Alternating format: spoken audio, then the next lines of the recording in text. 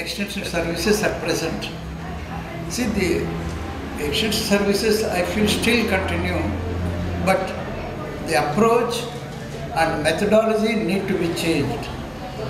These extension services, if we make an effort through the district health officers and through the local uh, people, we can show how this can be integrated with the primary health care center.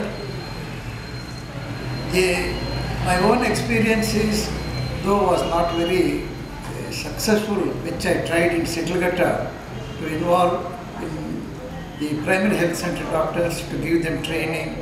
To uh, we started even in, in introducing a booklet so that what is prescribed by the specialist in the extension services, at least that prescription can be called, followed by the primary health center doctor.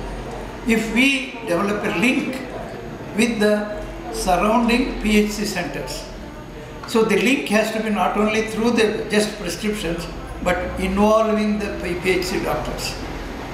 This we have to think how to involve them, how to motivate them, how to make them committed because they are not stable they are all moving every time so this need to be continuously followed.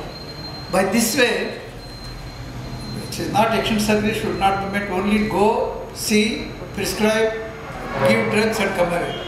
This, this can be now made it as a nodal point for each district to integrate. You through make, can make an effort to that.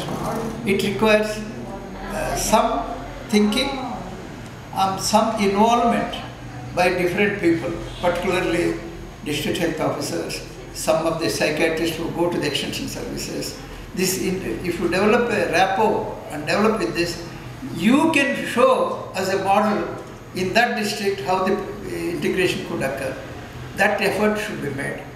That's how I feel the change should occur. That's how I look at it.